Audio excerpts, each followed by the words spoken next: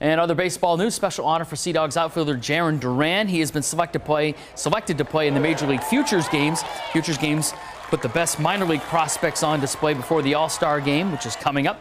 He's hit only 207 since being called up to Portland, but he was hitting 387 in single A before the promotion to Portland. So good luck to him. And uh, trading in the